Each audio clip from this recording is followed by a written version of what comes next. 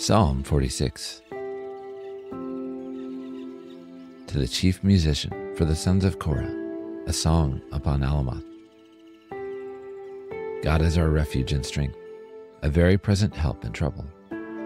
Therefore will not we fear, though the earth be removed, and though the mountains be carried into the midst of the sea, though the waters thereof roar and be troubled, though the mountains shake with the swelling thereof. Selah.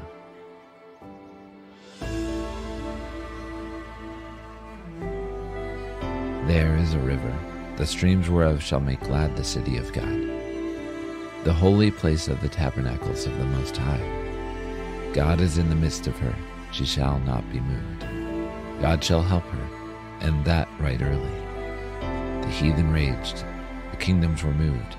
He uttered his voice, the earth melted. The Lord of hosts is with us, the God of Jacob is our refuge. Selah. Behold the works of the Lord, what desolations he hath made in the earth. He maketh wars to cease unto the end of the earth. He breaketh the bow and cutteth the spear in sunder. He burneth the chariot in the fire. Be still and know that I am God. I will be exalted among the heathen. I will be exalted in the earth. The Lord of hosts is with us. The God of Jacob is our refuge. sei lá,